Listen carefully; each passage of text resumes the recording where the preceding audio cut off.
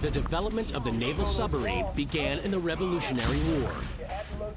Outgunned by Britain's huge naval superiority, the colonists desperately needed a weapon that could give them an advantage in the war at sea. A young Yale student, David Bushnell, would be the man to design the first offensive submarine in history. In the years prior to the Revolution in 1776, Bushnell applied himself to the problem of underwater propulsion. But when war rocked North America, Bushnell had an opportunity to put his theories into practice. During the Revolutionary War, he decides that the cause of the Americans must be aided by creating something to combat the overwhelmingly powerful Royal Navy. Bushnell starts work on designing a submarine with the capability to attack the British at sea. But restricted by the technology of the day, he was faced with overcoming major problems. He was living in a time when there were no batteries, there were no engines, and it is, as you can see, a wooden hull uh, with a pilot who is also the engine room, who is also the fire control computer, uh, who is also the navigation system.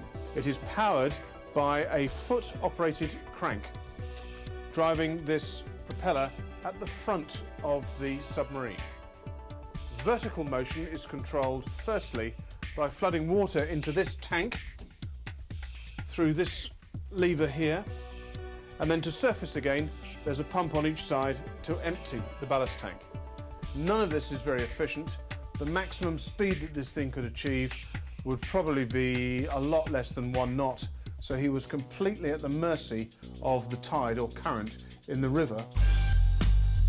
Bushnell finalized his plans. With input from Benjamin Franklin, he built his craft and gave it a name, Turtle. Now he and his fellow patriots needed to select a suitable target. They had no difficulty in finding one.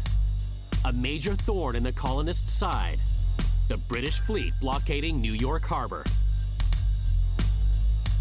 The plan was to attack the Royal Navy flagship, HMS Eagle, anchored near Staten Island.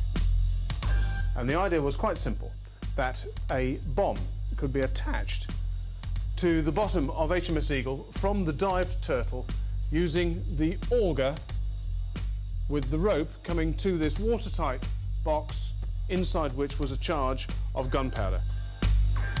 The man chosen to be the first naval submariner in history was Sergeant Ezra Lee.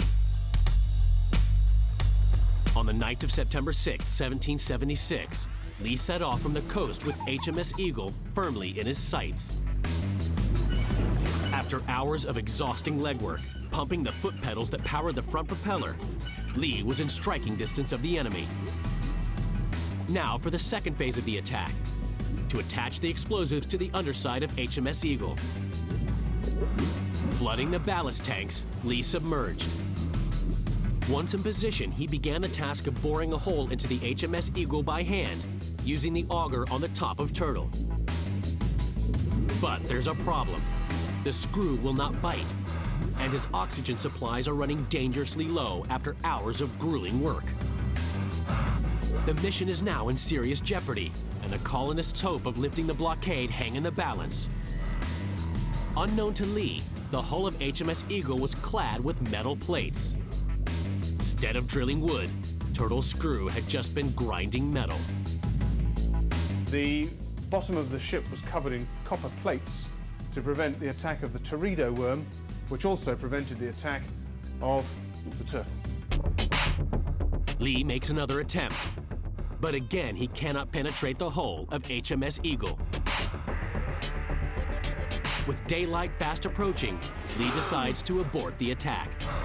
Fortunately, is unable to get the screw that he wanted to use to implant the charge into the hull of the Eagle, and in the end has to give up, detonating the charge on his way home and causing quite a stir in New York Harbor. Tactically, the mission had failed, but shaken by the threat of being attacked from underwater, the British lifted their blockade just as the colonists had hoped. The strategic victory they were looking for was won. With Turtle, Bushnell had signaled the shape of things to come. It's interesting to reflect that in this crude wooden barrel is everything that exists in a modern submarine. You have a system for propelling it. You have a system for diving and a system for surfacing.